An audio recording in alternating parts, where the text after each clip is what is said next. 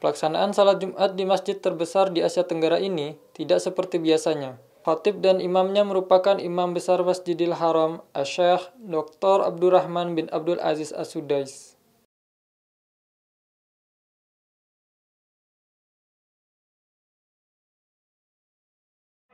الله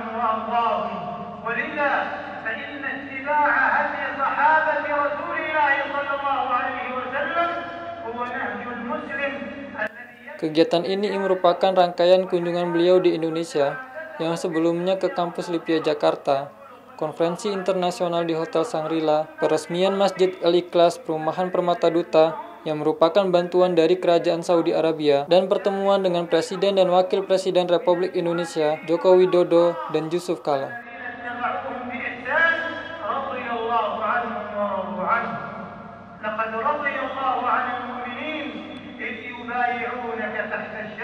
Seusai khutbah, Direktur Pusat Pelayanan Masjidil Haram dan Masjid Nabawi ini langsung memimpin salat Jumat.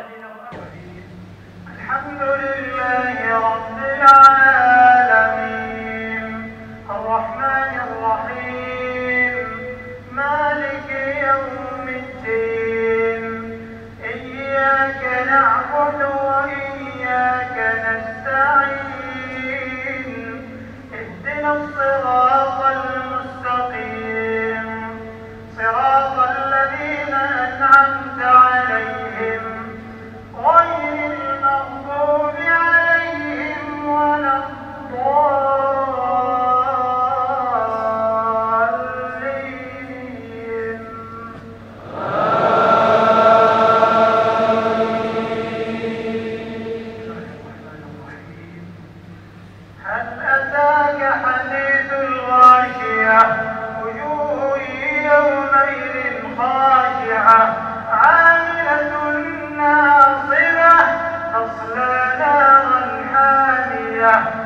تسقى من عين آنية ليس لهم طعام إلا من ضريع. لا يسمن ولا يغني من جوع. وجوه يومئذ ناعمة لسعيها راضية.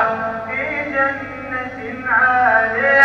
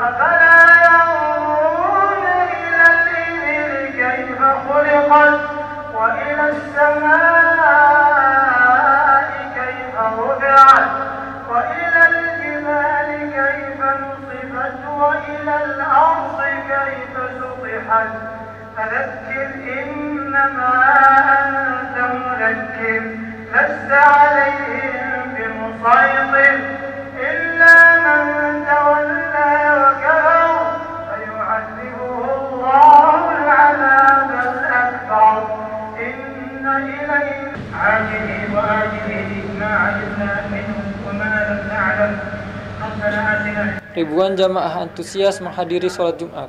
Setelah sholat Jumat berakhir, seorang penerjemah membacakan terjemah khutbah Jumat yang sebelumnya disampaikan oleh Imam Masjidil Haram, Syekh Dr. Abdurrahman As-Sudai. wujudnya ukhuwah Islamiyah merupakan dambaan setiap muslim. Kepada para jamaah tidak ada kesalahan. Oleh karena itu kami mohon untuk melaksanakan sholat ba'diyah Jumat masing-masing